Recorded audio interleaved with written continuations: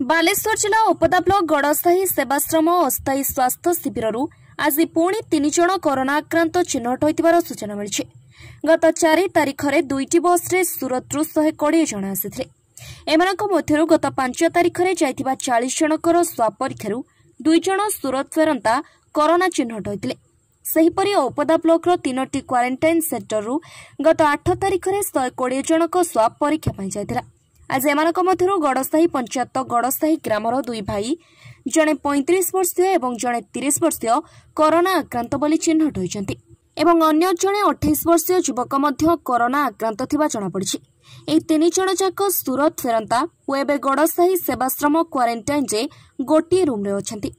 ଖବର ପାଇ Upada medical team BDO Santosh Kumar Pati block ପ୍ରଶାସନ ଓ ଉପଦା ଆଇଆଇସି ସୁଜାତା ଖମାରୀ ସଦଳପଳେ ପହଞ୍ଚି ଏହି ଆକ୍ରାନ୍ତମାନଙ୍କୁ ଅଲଗା ରୁମ୍ରେ ରଖିବାର ବ୍ୟବସ୍ଥା କରିଥିବାର ଜଣାଯାଇଛି। ଜୟଶ୍ରୀ ବେହେରାଙ୍କ ରିପୋର୍ଟ ଅଭୟ ନ୍ୟୁଜ୍।